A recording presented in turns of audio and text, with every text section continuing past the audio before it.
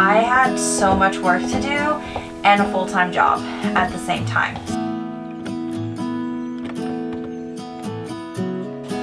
That I had three weeks to get this ready to go to hit the road. And that three weeks went by really, really fast.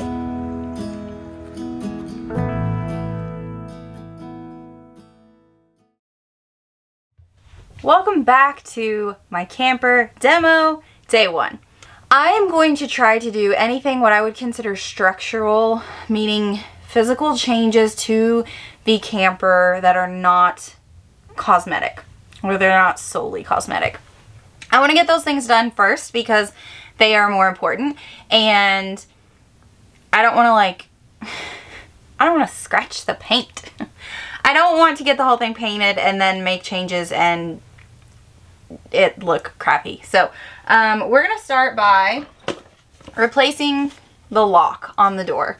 A uh, little unknown known, I don't know, apparently a lot of people know this. I didn't. This is the first camper I've ever owned.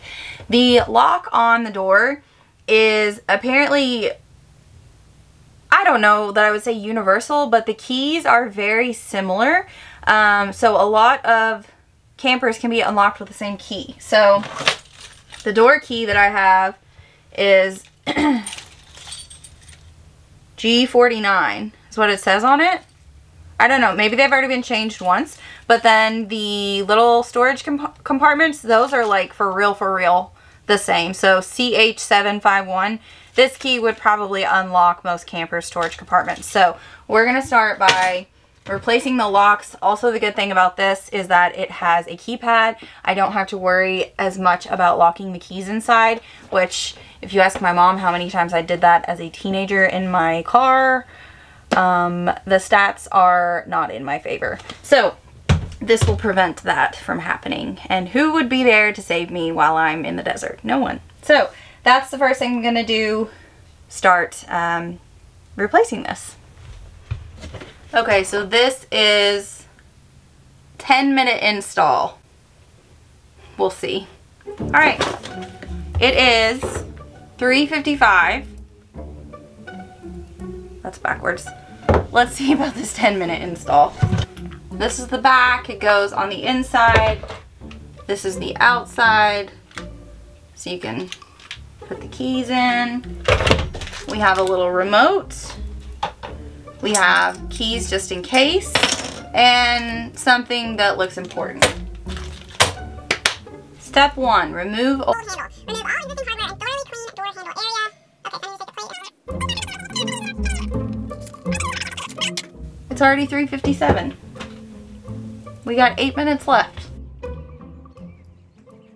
I didn't film the process of building out my van Aside from a few snippets that made it onto my Instagram story, it was all business, and that's probably a good thing. Because trust me, when I tell you that I mess up so much, so much, I mean it. And the simple task of changing out the door lock on the camper was absolutely no exception. I spent entirely too long trying to screw the plate in.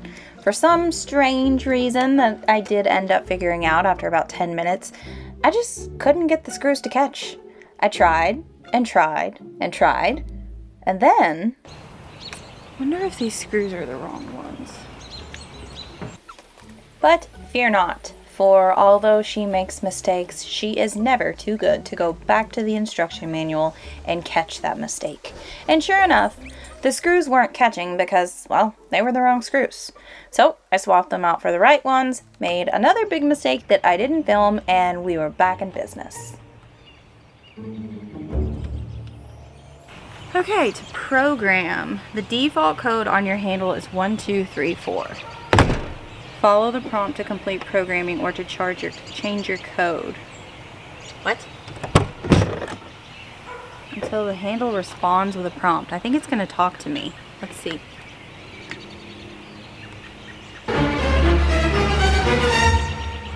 Enter new code, then press lock. Enter new code, then press lock. I can't show it to you. Oh no.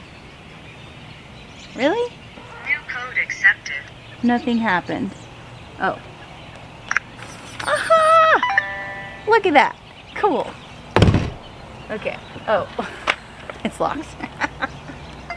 oh, okay.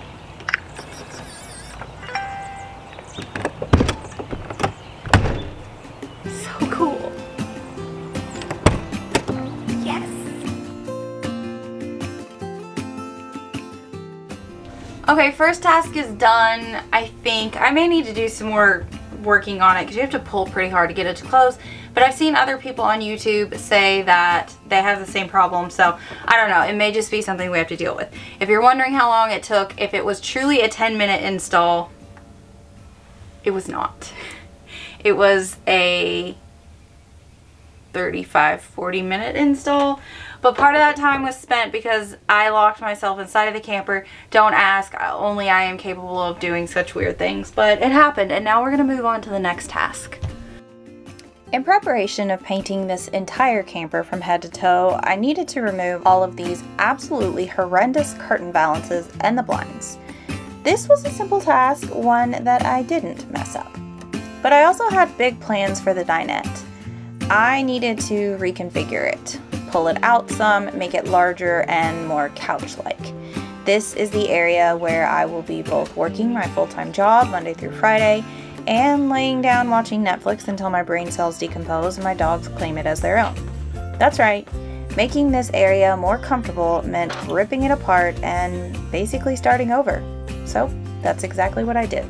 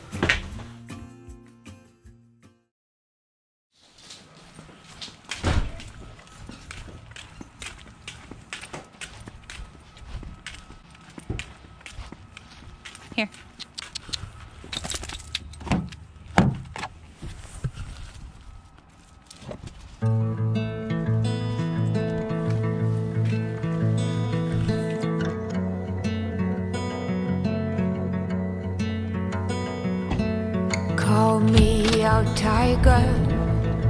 Call me out, why don't you laugh? Lift me up higher above the clouds, won't you love? When the scenery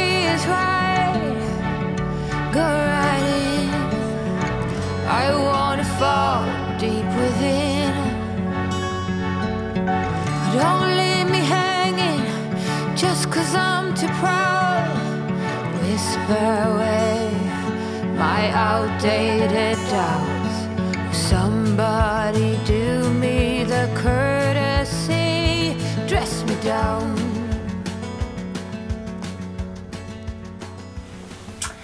Hi. If you are wondering or thinking you may have missed a chapter, um, you're correct.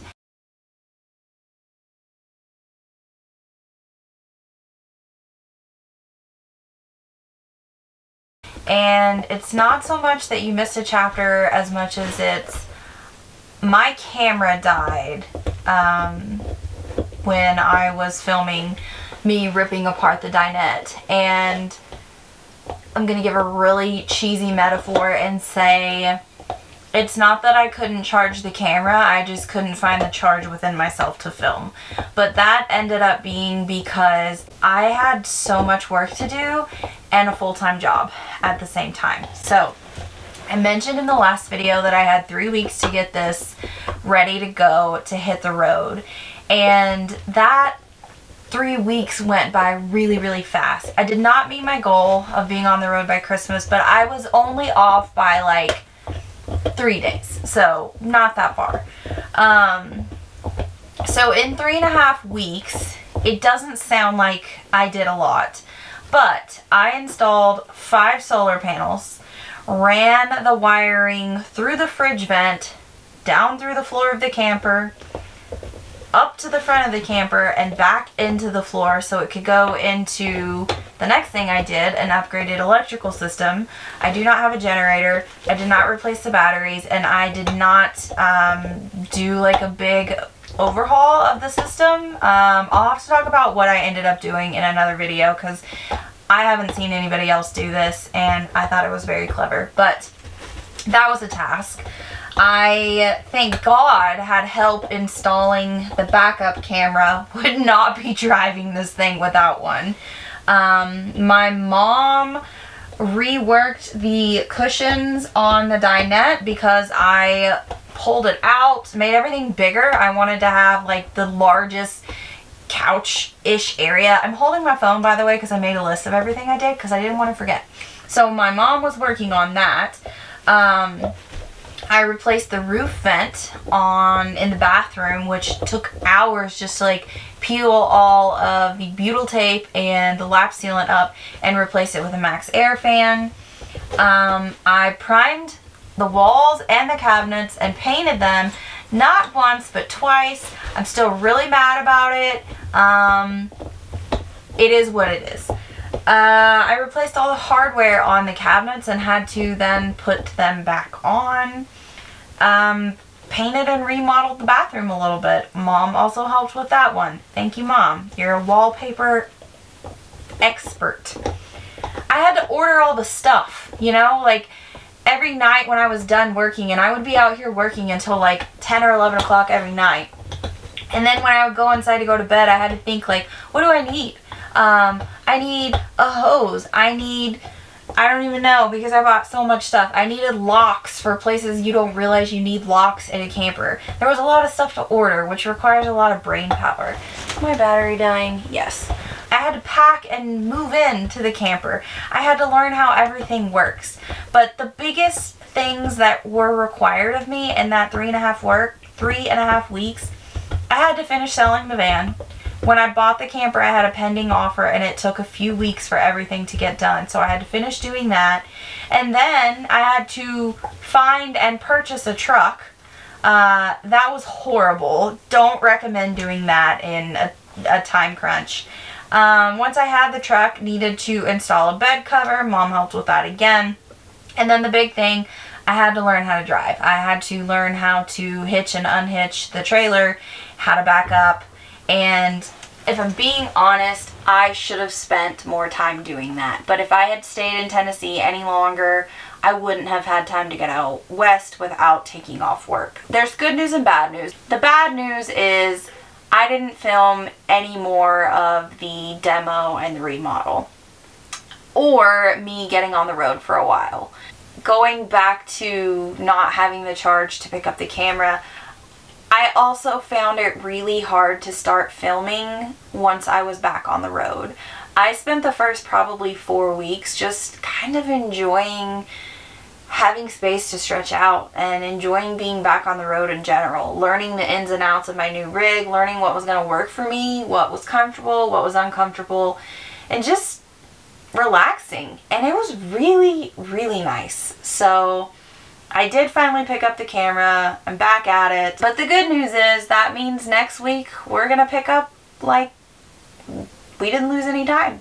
Um, you'll see me in Arizona next week. I am filming right now from California, but I spent six weeks in Arizona. So I'm going to pick back up with our adventures in true Girl to Van Dog style back to a normal video, which some of you I think will be very happy about. We're back to hiking, I'm back to sharing cute videos of my dogs, and I'm back to sharing the most incredible sunsets I've ever seen. See you next week.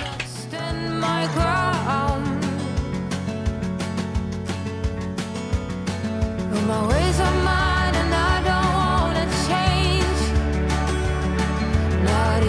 for